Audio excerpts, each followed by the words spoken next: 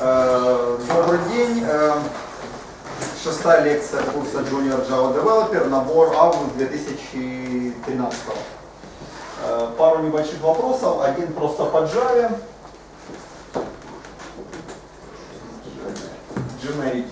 Второй вот спросили про локаль.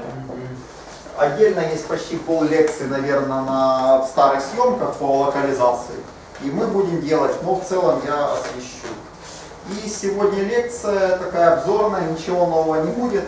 Э, Я в целом опишу, что у нас сейчас есть в проекте, добавлю немного по там log4j используем, вот по log4j добавлю.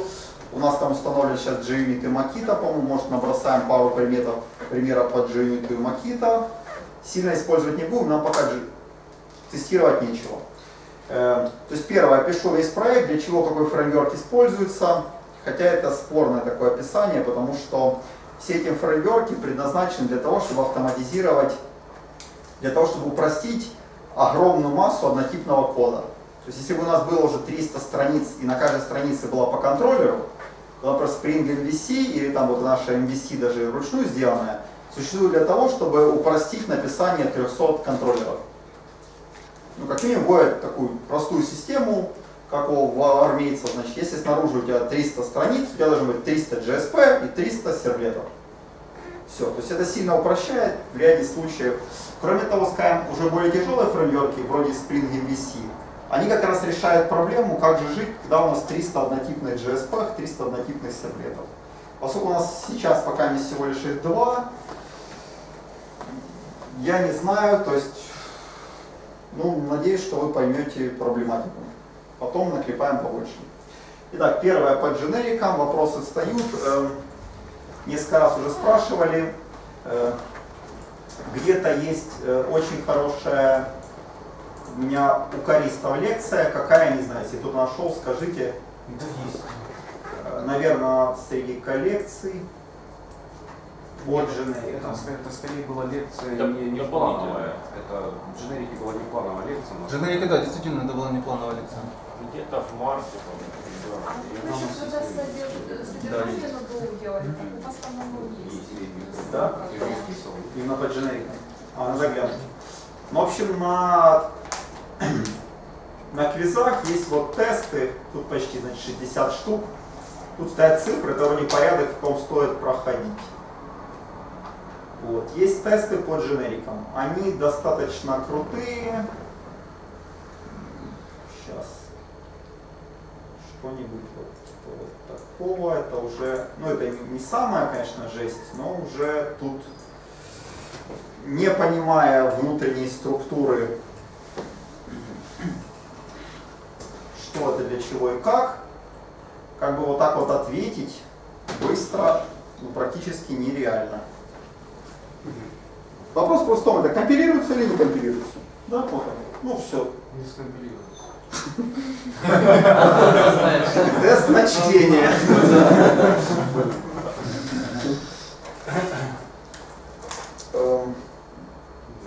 Если нет, то зачем? А, нет, так нет, я сразу, потому что там э, тип номер, а там интегр.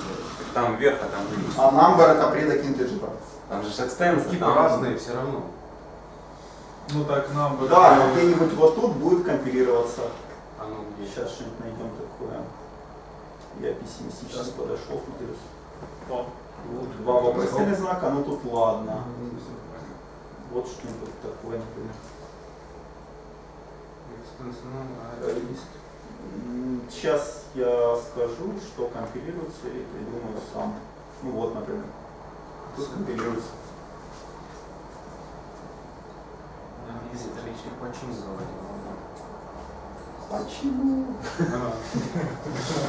Вот. эм, Суть следующая, то есть с одной стороны дженерики это как бы вроде чистый синтаксис языка, с другой стороны их сейчас достаточно массово используют, и многие тяжелые библиотеки, особенно могут какие-то от Google, например, э, Google коллекции, как он называется, Guava сейчас, они достаточно сильно на дженериках. Более того, выходит уже Java 8, в которых фактически поверх там лямбды будут очень интенсивно использовать дженерики. То есть если там дженерики не использовать, то лямбды теряют часть своей мощности. И, соответственно, в ближайшее время произойдет как бы еще немного усложнения языка. Э, Второе, за этим скрывается ряд достаточно интересных идей, достаточно общих, касающихся не только Java. Вань, дженерики видели в седьмой, я вижу в шестой. А, пятый. Итак, совсем кратко. Ряд достаточно общих идей. Смотрите. Эм, Есть понятие тип, есть понятие класс. В принципе, это достаточно размытые штуки, особенно тип. Но, если смотреть совсем издалека, то изначально были системы не типизированные. То есть, когда пишутся на каких-то машинах, на каком-то машинном языке программирования, да, то фактически система полностью не типизирована. Что имеется в виду? Кругом все одного типа, и поэтому не имеет смысла его даже называть. То есть все просто является байтами. То есть на винчестере у нас байты, в памяти у нас байты, регистр это байты. Ну, байты сгруппированы как-то, да, там 4 байта вместе, это машинное слово. Но в принципе все на это плевали, потому что я спокойно могу с одной стороны записать double в виде 8 байтов, да, а потом считать случайно левые 5 байт и захватить еще другие. Вот, то есть как бы типов нет. И потом оказалось, что э, такие системы, э, людям на самом деле такая огромная свобода не нужна, а это приводит к огромному количеству ошибок. И начали развиваться системы типизации. То есть идея в том, что мы берем что-то сырое, э, просто несколько байт в памяти, и присваиваем им какой-то тип. Что такое тип? Это как бы этот базовый примитив, он уже никак не определяется. Это некая метка. Вот. И потом мы можем, э, у нас есть какие-то, значит, группы этих меток, и можем сказать, что эти метки с этими, они находятся типа между собой в очень странных отношениях. Чем более сложный язык, тем более странные отношения. Но можем сказать, что что-то является по типам чего-то. Или какие-то типы можно делать пересечение типов. Сейчас посмотрим те огрызки, которые Java. Вот. И как только мы э, присваиваем куску памяти тип, мы можем говорить, что с этой штукой можно делать, а чего делать нельзя. То есть как только оказалось, что у нас не просто сырая память, а это строки, то оператор плюс у нас определен для строк, а оператор минус умножить не определен. Например. Итак, Java достаточно простой язык программирования. Даже, в общем-то, очень простой язык программирования. На уровне синтаксиса, если даже ну, JDK не берем. Это чистый синтаксис, никаких классов из стандартных классов. Вот. Фактически в Java э, типы все сводятся к классам. То есть мы знаем, что есть примитивы, какой-то int там, какой-то там, не знаю, double. Это непонятные штуковины, как они между собой соотносятся. Вот. И есть, скажем так, классы. Это типы, которые можно создавать вручную. Вот я написал класс G. Я задал определенный класс. Можно сказать, что каждый класс является типом. Ну, у него есть имя, он себя как-то ведет, то есть G к объекту я могу присвоить, а в G объект сохранить не могу. G и string ничего общего не имеют. Ну, что-нибудь такое. Зато кто-то может быть наследником, например, extend G, implements runnable. То есть он находится в каком-то странном отношении, какой-то может сделать свой класс X, который extends G, implements runnable и там вот так как-нибудь. Да, ну там надо реализовать метод. То есть фактически вот тут мы перечисляем какие-то типы. То есть clonable, что-то уже существующее, чем-то он характеризуется. У него какой-то метод есть, нет, метода нет. Окей, runnable. Это такая штуковина, которая Java типа runnable, есть метод run. G тоже какой-то класс, который есть вот, вот здесь. И в принципе, скажем так, до пятой Java отдельно вводить понятие типа не имело смысла. То есть фактически говорили, что в Java есть примитивы, а есть классы. Ну, если классы подразумевать и интерфейсы, и там enum, ну enum не было. Абстрактные классы, с точки зрения как бы компиляции, они ведут себя абсолютно идентично. Ну, все приводятся к объекту, у всех есть метод equals и так далее. Вот. Но начиная с пятой Java появились дженерики.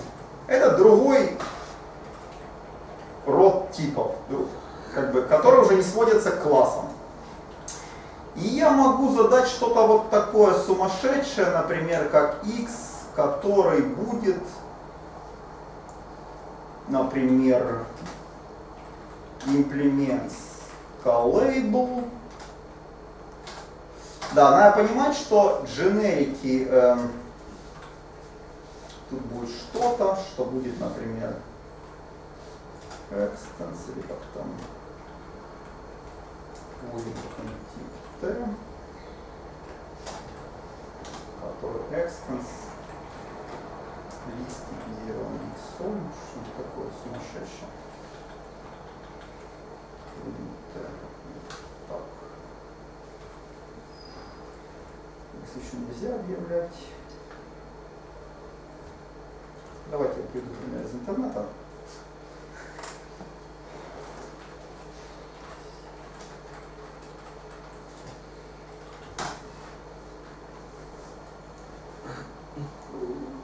Дженерики это очень странный инструмент, как опасная бритва, то есть вот какие-то стандартные примеры я могу прямо в уме сгенерить, которые нужны, но кроме того, он позволяет делать такие странные мутанты, которые либо по памяти не повторишь, либо если повторишь, потом лезешь в интернет узнавать в очередной раз, а для чего это нужно. Ну, то есть я не совсем в состоянии запомнить ну, вот что-нибудь вот типа вот такого, например. Это официальное объявление Enum в Java. Enum, он дженерифицируется каким-то типом E, который extended enum дженерифицированным E. Это официально, ну, вот класс Java Lang enum, это предок всех enumов. То есть, когда я делаю вот так, я делаю enum E, да, как будет B, C. Да, то теперь оказывается, что равно E точка А.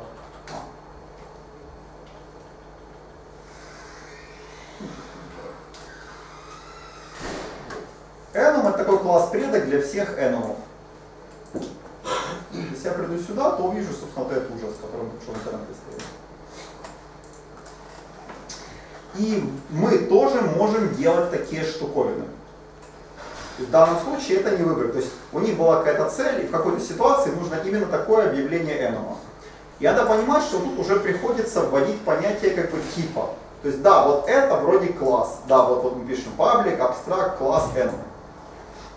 Это является классом в том смысле, что оно таки наследует объект, у него есть метод там хэш-код, equals, у него могут быть наследники, ну этой штуки не могут быть, у этого не может. В общем, есть наследники, ссылка типа класс может хранить null, ну ссылка типа byte null хранить не может. Ссылка типа любого класса может. Но с другой стороны, А чего у него не может быть?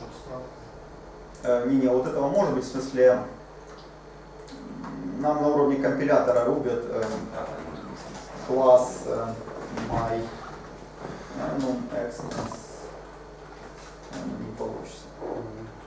Чуть-чуть взорвается. М, Вот, вот, вот так. То есть просто это такой огрызок, который, ну, просто классы не могут непосредственно экстендить Java Long. Все. Все, все. Это, точно, это уже начинается стандарт языка. Эм, как говорить, вот я сделал массив, потом я пишу имя массива, точка lens. Является ли lens полем массива? Ну нет. Ну, в смысле, ты просто если так делаешь, то ты получаешь длину массива. Оно выглядит и ведет себя, как будто это финальное поле. Длина пассива в самом массиве хранится. В стандарте языка ну, нет такого понятия, как хранится в массиве.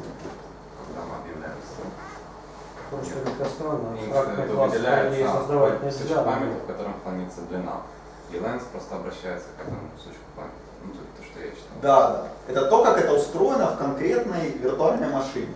Но оно может быть устроено по-любому другому. Потому что в стандарте языка не сказано, откуда этот lens берется. Просто когда ты пишешь имя, имя массива .lens, то вот эта штуковина имеет значение длина массива. Откуда оно берется, может компилятор заранее может вычислить. Ну. Итак, то есть появляются вот такие странные штуковины.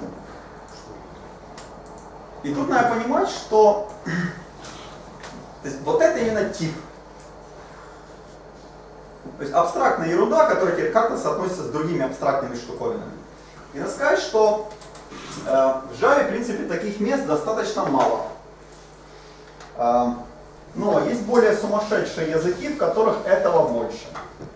То есть если идти вот так, скажем, идет Java, потом, скажем, Scala. Это такая же Java, только с более странной сумасшедшей системой типов. Там, скажем, где-то в два раза больше сложностей, причем добавили именно всякие вот такие вот кривые штуковины.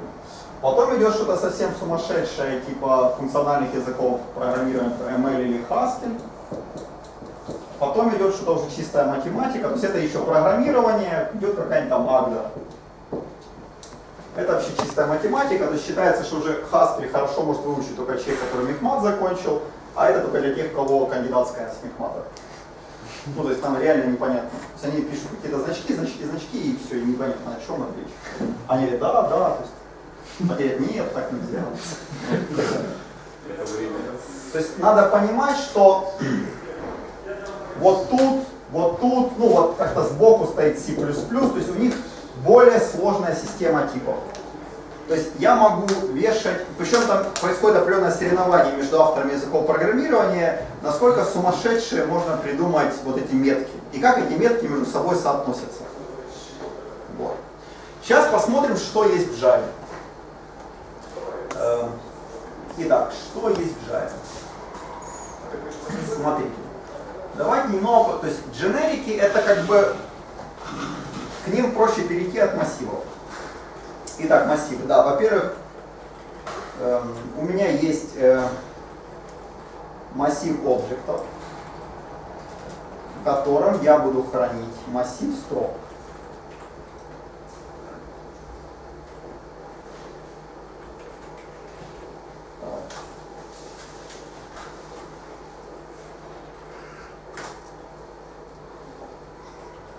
Вот такое возможно.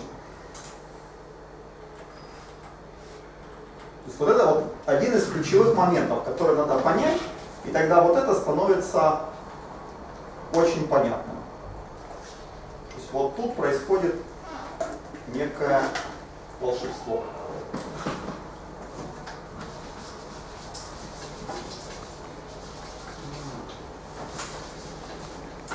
Смотрите. Эм, скажем так, операторы на типах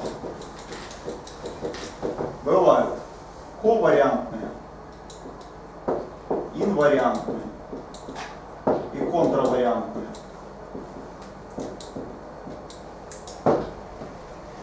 Если у меня есть два типа А и Б, и они находятся в каком-то отношении, что А как бы меньше Б. Для классов это наследование. А наследует Б. Ну, вот такой мы значок ведем, что он похож на меньше, ну, какой-то другой значок. То есть А меньше Б. Что бы это ни значило. Вот. И у меня есть некоторый оператор на типах P. Такой, что он берет любой тип и что-то с ним делает. То вопрос, что произойдет, какое отношение будет между PA и P от B. Если это сохранится, тогда говорят, что P ковариантен. Если значок обратится в обратную сторону, тогда контравариантен. Если значок исчезнет, типа извините, все, то есть после того, как вы P применили, старая информация стерлась. То есть никак. Ну не знаю, как никак. То говорят, что инвариантен. Это терминология, наверное, уже очень близка из математики. Могу ошибаться, там, по-моему, что-то связано даже с векторным произведением векторов, вот оттуда потянули. Итак, давайте смотреть. Смотрите, у меня есть string, а, а, оператор скобок, оператор образования из типа массива этих типов, он ковариантен. То есть, если string у меня является объектом, то в данном случае оператором на типе является, у меня есть какой-то тип, неважно какой, да, А, Б, С. Я могу образовать новый тип, прибавив скобки. Могу, теперь это опять тип, правильно? Массив ABC. Я могу образовать опять тип, давайте опять подействовать. Теперь это массив массивов ABC. Могу еще раз подействовать, правильно? Ну, фактически в Java как языке есть, до пятой Java, по большому счету, был только один оператор, э, оператор на, типах, на типах. Если у меня есть какой-то тип, я могу прибавить скобки и сказать, это теперь массив вот тех предыдущих штуковин. Это новый тип. Ну, теперь новое свойство, компилятор теперь по-новому что-то отслеживает, ему теперь нужен индекс, у него есть lens. Вот. Ну, из интересного, да, например, если там A, B, C наследовал кого-то,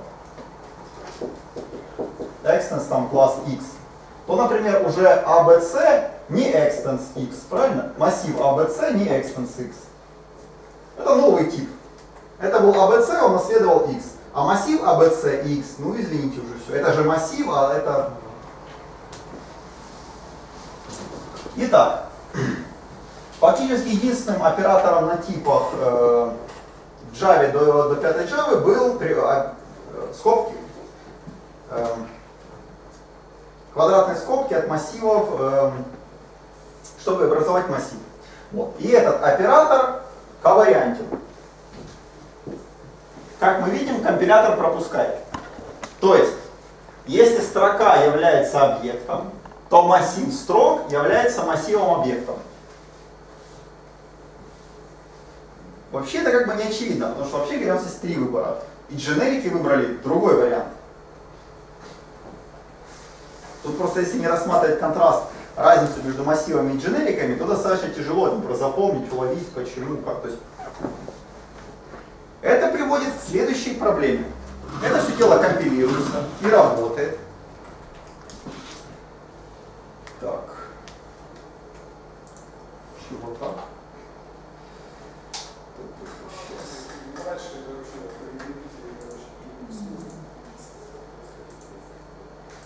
Ты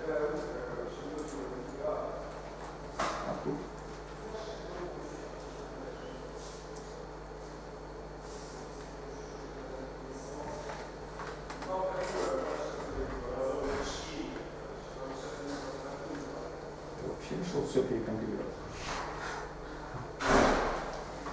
Ладно, пусть. Ага, допустим. Смотрите, теперь получается, что если я из объектов, из нулевой ячейки что-то вытяну, то компилятор говорит, ну пусть это будет объект. Это же массив объектов. Все как бы окей, отлично. Да, это на самом деле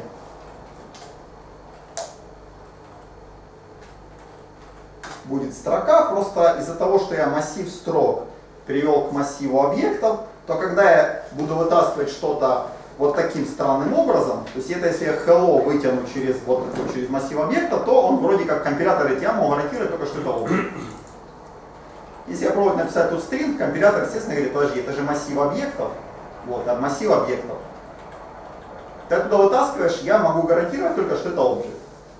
Если хочешь, сам вручную ставь вот так, и все у тебя будет хорошо. Но на свой страх и риск. Просто рискнул, потому что компилятор, если я сделаю вот так, компилятор уже говорит, ты рискнул.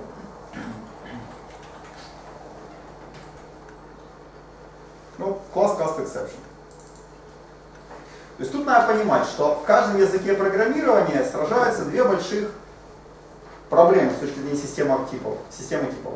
Что проверять в момент компиляции, а что проверять в момент исполнения.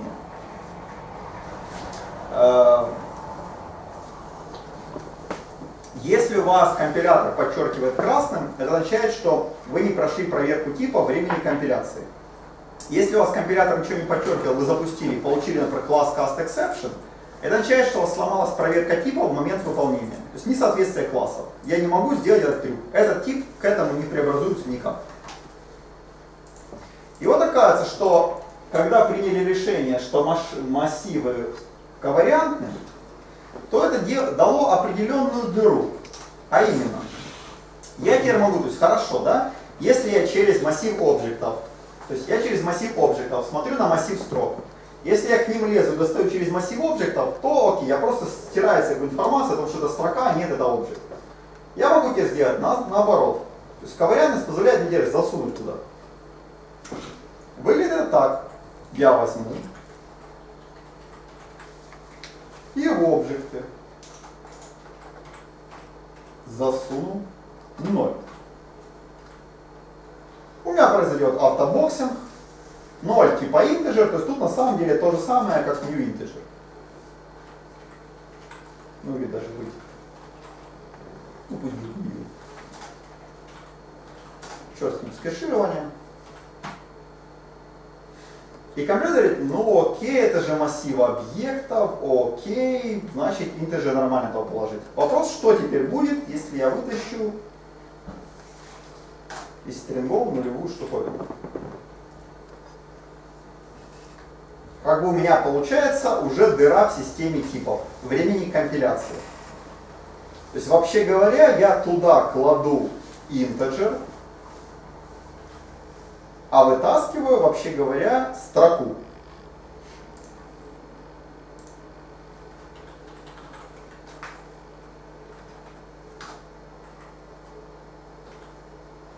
У меня получается ковариантность приводит к тому, что у меня есть неявное преобразование типов, причем любых, практически в любые.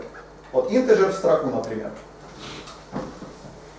То есть если у меня массив типов А является наследником, например, объекта, массива объектов, а им также является, например, массив любых других типов B, то используя вот этот свой трюк, я, собственно, могу засовывать А, вытаскивать B. То есть, когда я использую эту сторону, я засовываю А, вытаскиваю объект. Да, окей, это работает.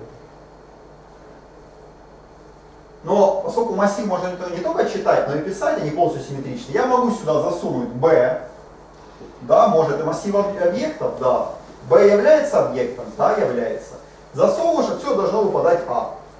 Получается, что из-за ковариантности компилятор не может отследить преобразование типов вот в эту сторону. Дженерики исходили из другой идеи.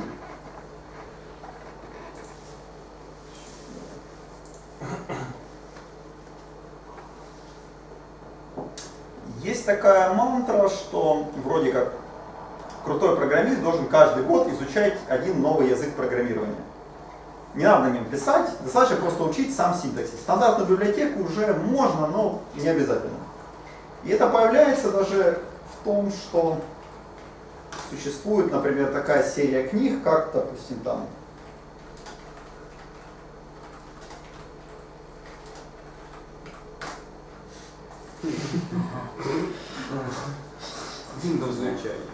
Да, 7 языков за 7 недель.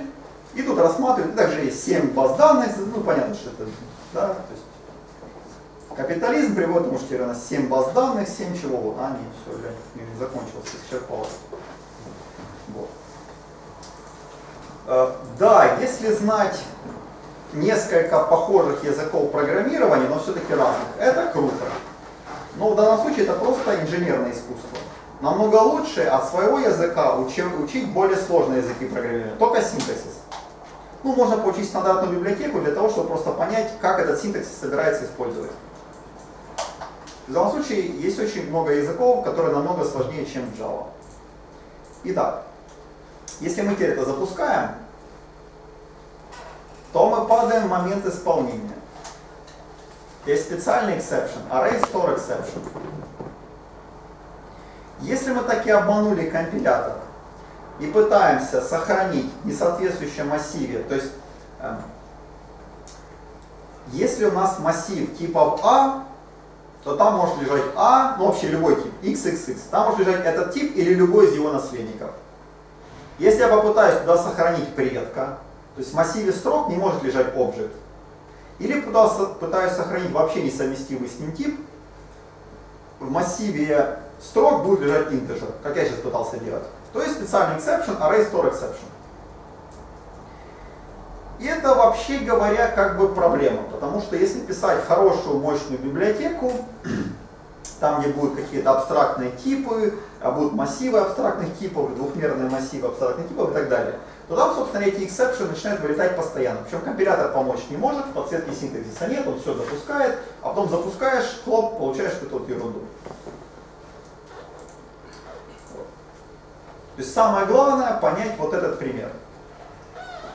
То есть когда массивы строк являются массивами объектов, то у нас возникает дыра, которую компилятор не может отследить.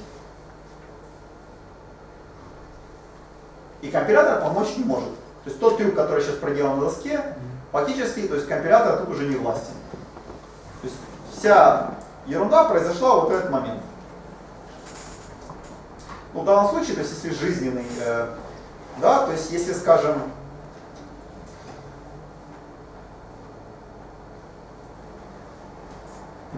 у меня была, ладно, жизненная аналогия тут не прокатывает. Хорошо. А теперь давайте посмотрим, как, то есть дженерики в этой же ситуации решили вести себя по-другому. Тут будет не массив строк, а абсолютно аналогичный тип. Лист строк.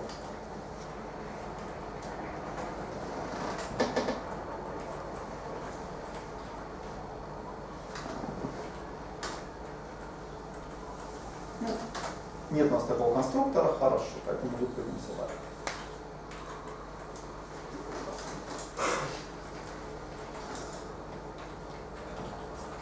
Все, мы дальше не идем. Дженерики не ковариантные, а дженерики инвариантные. Они сказали, да, строка является объектом, но лист строк вот не является лист, листом объектов. Ну, смотрите, то, что строка является объектом, это личное решение авторов классов. Они решили, что у класса будет наследование, а наследование это отношение, э, фактически наследование имеет полная аналогия включения в теории множеств. То что является множеством чего-то.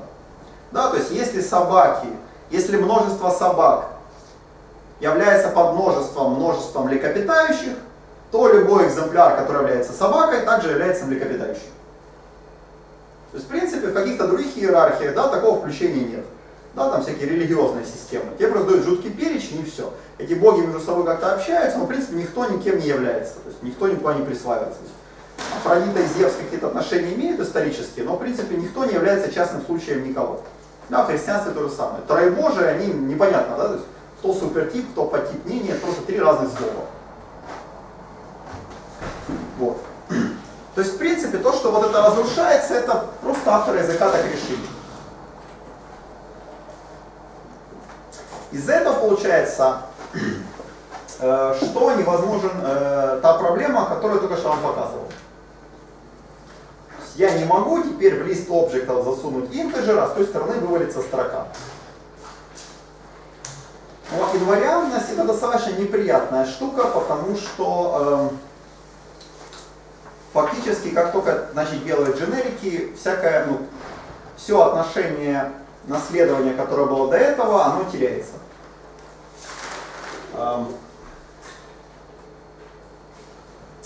Да, еще аналогия. Смотрите. Мы обычно наследование рисуем вот так. Да, есть объект. У него есть наследник какой-нибудь там number. Да, есть такой. У него наследник integer есть.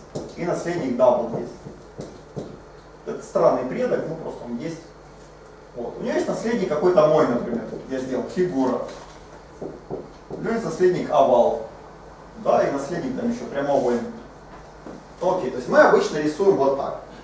Но вообще говоря, это полностью можно рисовать через включение. То есть есть большое множество этого объекта. У него есть подмножество number. У него есть еще меньший класс интеджеров. Ну, Integer double финальный, наследник объекта. Тогда получается что если вы взяли кого-то, кто является Integer ом, он одновременно лежит в number и одновременно лежит в объектах. А тут лежат примитивы сами по себе, там, байт. Если я взял байт, то извините, байт не является ни Integer ом, байт не является number, байт не является объектом, все. То есть нам язык в пятой версии сделали autoboxing, при котором там незаметно байт вроде превращается в байт с большой буквы, является наследником объекта. Но если автобоксинг про него забыть, то вообще говоря, байт и numbers два вообще разных типа. Все, то есть нет никого, кто был бы и этим, и этим. А интеджер полное включение с number. И вот такие вот значит, иерархии виде деревьев, если переложить сюда, в чем приятность? В том, что, например, не допустили, что было вот такое. В принципе. Не получается такого дурацкого случая, что это тип А, это тип Б, и вот некоторые являются и А, и Б, некоторые являются только А, некоторые только Б. То есть когда я объявляю А и Б, одно из двух. Либо я, когда упоминаю А и Б, я друг о друге не упоминаю, когда они совместны полностью, integer и object. Либо я одному из них пишу, что он extens другого. И он полностью попадает в внутрь. Друг другу extens быть нельзя. Ну, раз включение по теории множеств. Эта идея, в общем-то, идет от классификации Линнея, лет там 200-300 назад, когда товарищи, биологи собрались и всех животных как-то пытались построить какие-то деревья, перечислить. И там оказалось, что вот отношение строгого включения очень приятная штука. Вот. Но она выглядит. То есть в инвариантности э, неприятно, что лист объектов не имеет никакого отношения к листу строк. Все, информация потерялась. Два как бы несовместных типа. Закрыли предыдущую дыру, потеряли кучу значит, приятных вещей. И поэтому они сделали следующее. Появляются, как бы скажем так, семейства типов, которые тоже являются типами. То есть в данном случае аналогии из жизни я не знаю, как раз получается с программированием. Есть такой шаблон композит. Э, композит, шаблон заключается в чем? Допустим, у меня есть у меня есть фигура, смотрите. Еще в чем? Такие достаточно глубокие странные идеи, а, они позволяют нам, когда мы берем синтаксис Java, OP-шный, начинаем плодить свою систему типов, то иногда мы хотим что-то, что отличается от простого включения по теории множеств. Есть фигура, есть овал, есть прямоугольник. Тут все понятно. Да? То есть это когда абстрактная штука, скорее всего, экземпляр фигуры весьма странный, да? какая у нее форма. Если его заставить рисовать на доске, как он себя рисует, если он непонятно кто. Вот. А этих штуковин, видимо, они уже конкретные классы, потому что у овала вполне понятно, если я вызову метод draw, он, наверное, себя нарисовать может. С центра, два, два диаметра, там, может, цвет, периметр и так далее. Вот. А теперь представьте, что я работаю с каким-то инструментом. Да, я делаю графический эм, инструмент. Да, я хочу делать следующее. Вот у меня окошко, вот тут палитра. Тут овал, тут прямоугольник. Я беру овал, перетягиваю, хлоп, лежит овал. Беру овал, перетягиваю еще один овал. Беру квадрат, перетягиваю прям, прямоугольник, прямоугольник. Да? И, скорее всего, эта область это лист фигур. Очень удобно. Это и это наследники фигуры. В лист фигур можно вложить наследника фигур. Все классно. Я могу идти циклом по листу и у каждого вызывателя фигуры метод рисуйся. И эти штуковины каждый себя отрисуется. Чем это удобно, я могу позволить программисту самому нарисовать класс треугольник, он может появиться здесь, его можно перетащить, и он нарисуется здесь. Выдастся на принтер и так далее. Потому что если он будет тоже фигурой, его повесят в лист фигур, а у меня общий метод, который оперирует областью на экране или на бумаге, на принтере, он умеет с любой фигурой работать. Поэтому все методы, которые нужно вытаскивать фигуру, тут будет какой-то там, допустим, get color может быть, get center, ну, это сильно точно, скорее всего, будет какой-нибудь универсальный метод draw. Даешь ему какой-нибудь экран, ты говоришь, любая фигура, самое главное, что она должна иметь, это метод draw. Я фигуре дам экран, она должна сама себя нарисовать. И дальше ее управляю. Если я хочу, чтобы они принтерились, я делаю метод print, даю принтер, говорю, фигура, вот там принтер, сама разберешься, какие методы есть. Вот. А теперь получается следующее. Смотрите. Когда я беру и мышкой выделяю вот так вот, например, и выделил. Да? Они оба подсвечены. У меня ну, инструмент такой. Такой. Я беру мышку, тащу, и они оба тащатся. И вдруг оказывается, что вот эти две штуки образовали такую динамичную фигуру. Если сделаю delete, они одновременно обе исчезнут. Если я таскаю, они одновременно обе движутся. Если делаю растяжение, они обе растягиваются. То есть, в принципе, эта композитная фигура начинает вести себя полностью как ну, какая-то единица, как фигура. У нее есть теперь свой центр, да, у этой штуки. Есть суммарная площадь. Самое главное, она может себя отрисовывать, по большому счету.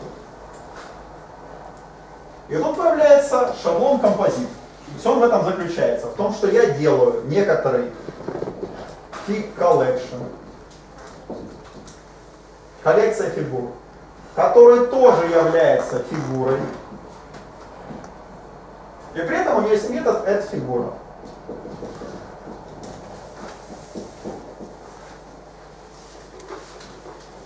То есть такая штуковина, у которой нет самостоятельного содержания. Она является фигурой, потому что мне можно набить фигуры. И что бы ты у нее не попросил, говоришь, нарисуйся, вот тебе скрин. Она просто берет, а внутри нее другие, ну, настоящие как бы фигуры. Она говорит, рисуйся, рисуйся, рисуйся, рисуйся, рисуйся. То есть, в принципе, в случае, если задуматься, получается как бы такая петля. То есть, фигура collection вроде как является фигурой, при этом сама представляет собой сборище других фигур. Вроде как петля получилась. То есть, с одной стороны, должна была быть иерархия, много фигур, собранных вместе, должна быть какая-то быть суперфигура. А потом будет супер, если много суперфигур собрать, будет супер-супер фигура. Но тут неприятно, потому что такую иерархию приходится четко определять, определять, определять. И все-таки иерархию удобно зацикливать, чтобы суперфигура являлась тоже фигурой.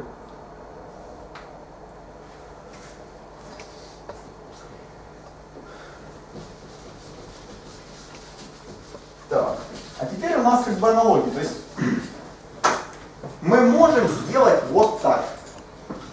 Лист.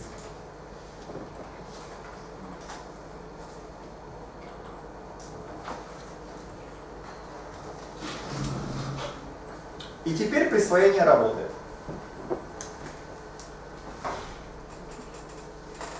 Вот это, тут как бы, то есть есть общие книги по типам языках программирования. Если интересно, самое знаменитое это Пирс.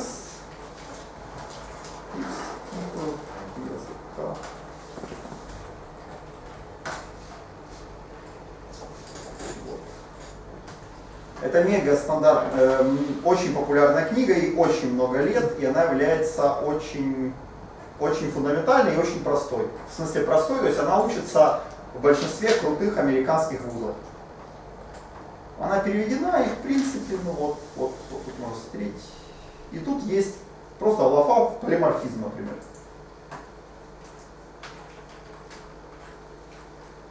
Если вот отсюда отвечать про полиморфизм, то, собственно говоря, ну, во-первых, человек с первоисточниками работает, то есть описывает разные типы полиморфизма, просто говорит, такая появилась прямо вот, в языке ML в 1978 году. Вот. Очень общая книга стоит пытаться прочитать. Очень. Ну, она очень фундаментальная, то есть она то есть, когда говорят, надо читать кнута, это просто такой, как это, пословица, поговорка. Это как полное собрание сочинений Ленина. Читать не надо кнута, в принципе. Вот это стоит почитать.